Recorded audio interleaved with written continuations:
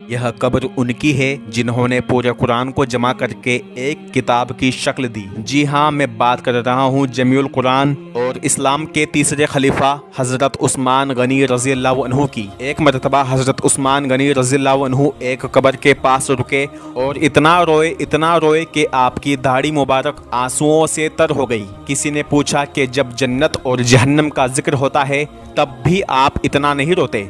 लेकिन कब्र को देखकर इतना रोए, क्या बात है? हज़रत उस्मान रज़ी ने फरमाया, अल्लाह के रसूल का फरमान है, कब्र आखिरत की मंजिलों में से सबसे पहली मंजिल है। अगर बंदा इससे निजात पा गया तो आगे की तमाम मंजिलें इससे ज़्यादा आसान होगी। और अगर बंदा इसमें फंस गया तो इसके बाद की मंजिलें और भी ज़्यादा सख्त होगी। अल्लाह ताला हम सबको कब्र के अजाब से